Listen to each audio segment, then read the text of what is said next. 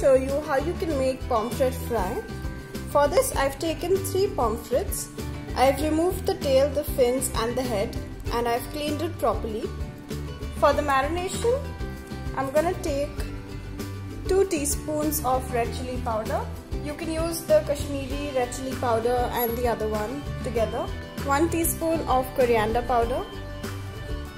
Half teaspoon of turmeric. Half teaspoon of salt or as per your taste. 1 teaspoon of cumin powder. This is homemade cumin powder. And the juice of half a lemon. Now I'm gonna mix all of this together to form a paste.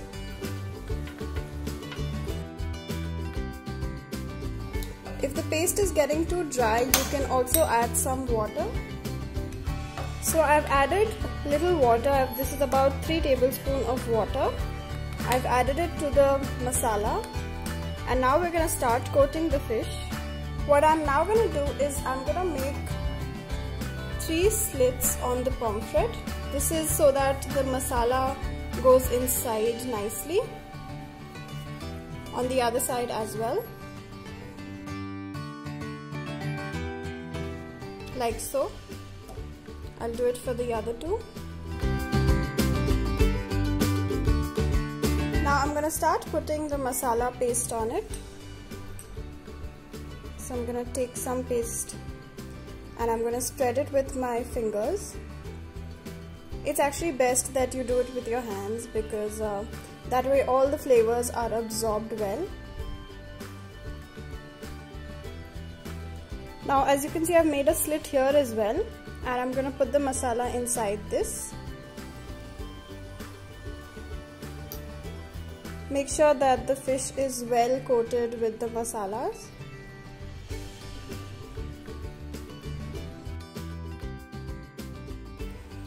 So I've coated it with the masalas and now I'm gonna leave it aside for about 10 minutes. So I'm gonna spread this batter on a plate.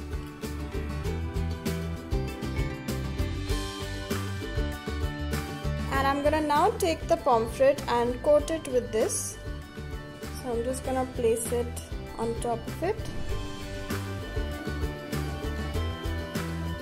And we're gonna coat it from both the sides. I'm just gonna let it stay for about a minute so that it uh, gets coated well. So I'm gonna coat the other side of the fish now.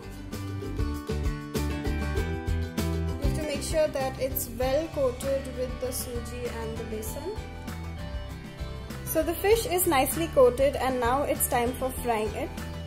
I'm gonna heat some oil in a pan for frying. The oil has become hot and now I'm gonna add the pomfret to it.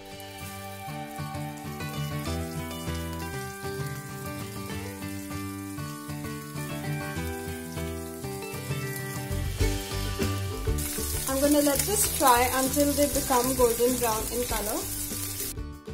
After cooking one side, I'm gonna flip and cook the other side as well.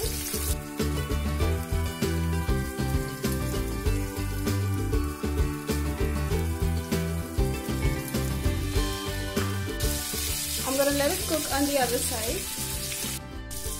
So my pomfret fry is ready. It's fried perfectly from both the sides and it has a nice golden brown color.